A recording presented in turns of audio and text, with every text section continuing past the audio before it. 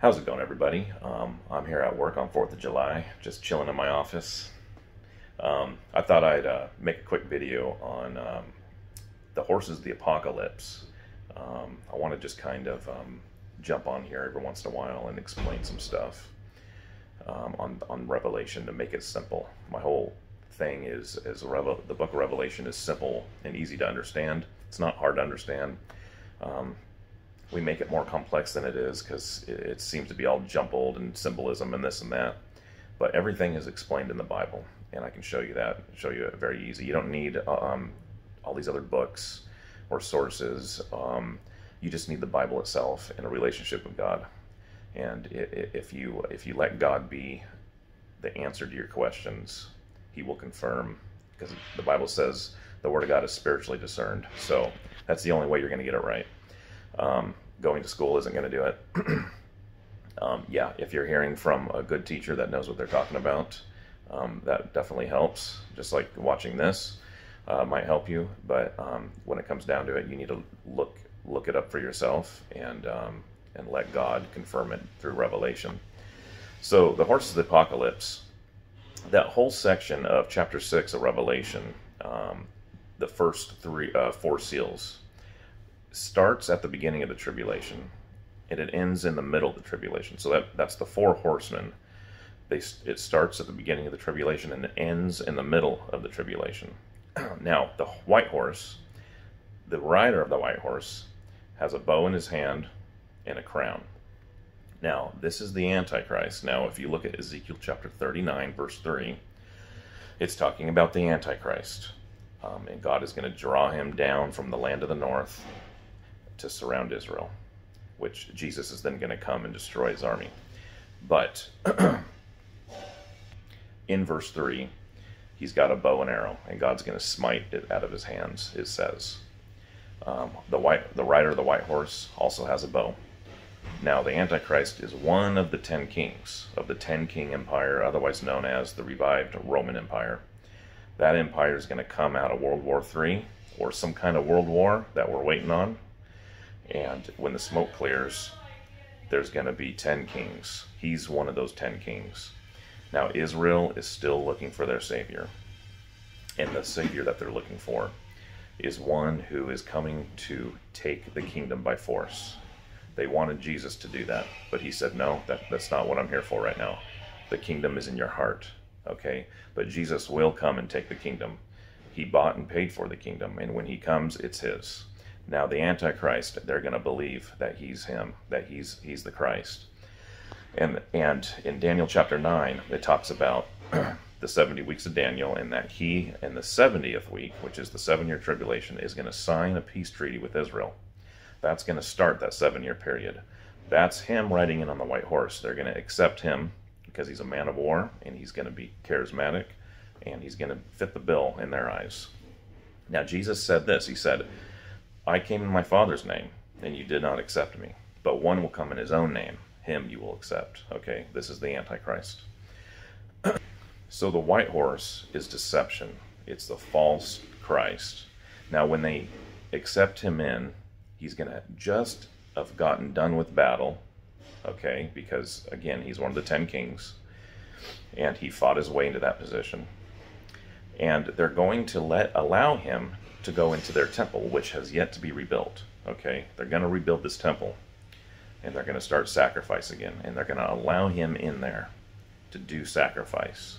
But the Bible says in the middle of the week, which is the middle of the tribulation, he's going to cause it to cease, and he's going to do the abomination of desolation, where he's going to sacrifice an unclean thing and desecrate the temple. In Second Thessalonians chapter 2 tells us that he is going to proclaim that he is God. Okay, and this is when Israel is going to finally wake up. This is finally when they're going to realize that he's not the guy. Now, the white horse is the Antichrist deceiving Israel. They're going to let him in. As soon as he's in, he's going to begin to war again, World War IV, against the very kingdom that he's a part of. Okay, he's going to dis- he's going to pounce on three kings of the ten king empire, and he's going to do it with such power that the rest of the kings are going to bow down to him and he's going to take the kingdom. But it's going to take that whole entire first three and a half years for him to win over the kingdom. this is the red horse. Okay, this is the war of the red horse. Now, the black horse is, of course, famine that always follows war. And the pale horse is death and disease that follows famine and war. And it says in there that hell will follow the death from that pale horse. What that is saying is everybody who dies from that war is not saved. Okay, God is preserving the ones who actually turn to Him during that first three and a half years of the tribulation. He's going to preserve them so that they can walk in the last three and a half years and be martyrs for Christ. Now, anybody who doesn't die for Christ that is saved is going to walk into the thousand year reign saved, but they're not going to be a part of the resurrected saints. That's something that you don't want to miss. You want to be a resurrected saint. Okay, but we'll get into that in, in a different video. Um, so the four horsemen of the apocalypse is a progression from the beginning of the tribulation to the middle. In the middle is when you have chap- chapter 13, chapter 17, where the Antichrist takes full power. Now, another thing that I really want to um, express about these horses is why does God use the horses? Um, if you look in Zechariah chapter um, 6, it talks about these horses actually there, but it talks about them a little different way. And if you read it, they're coming from from the um, between two mountains of brass, okay, and they're coming down to walk to and fro upon the earth. Well, what does that sound like? Well, Satan comes to walk to and fro upon the earth. Okay, these horses represent the principalities and the powers from from the air. Okay, that's talked about in Ephesians chapter six. So when they're coming be- from between two mountains of brass, it's, it's actually meaning they're coming from heaven. If you read Job chapter one and two Satan and his angels still go to heaven to accuse God's saints. Any mistake we make, he's going to go up there and be like, well, he made a mistake. And Jesus is going to step in as our advocate and says, as our advocate and say, I'm still working with him. I'm still working with her. Okay, so they still go to heaven. It talks about that in Second Kings chapter 21, I believe, or 22.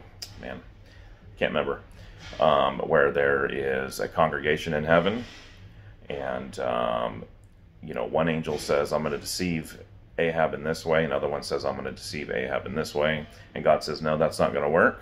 And another one says, "I'm going to be a lying spirit in the mouth of his prophets," and he says that will work.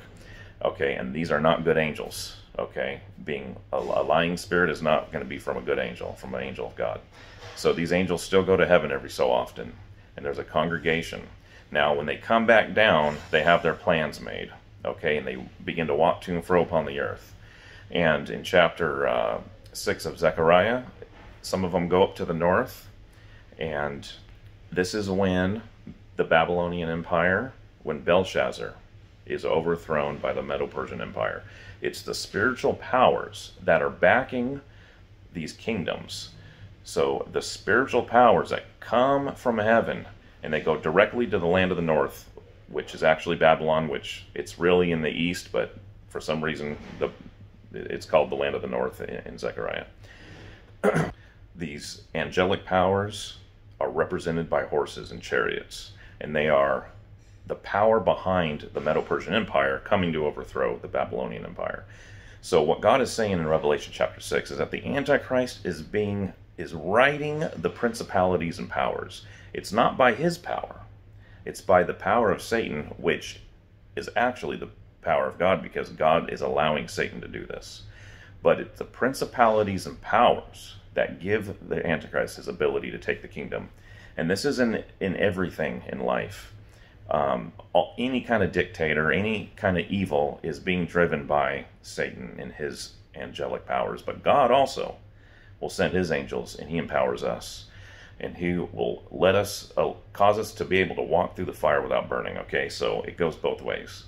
Okay so i wanted to kind of um, give you just a quick rundown on what the four horses of the apocalypse what, what's going on there the timing and the timeline and the timeline is very important to understand if you want to understand revelation you got to get the timeline down and once you get the timeline down it becomes more clear again everything all these symbolisms are that are in Revelation are in the rest of the Bible, and God did that on purpose. So you go back and look and get these things figured out. All right.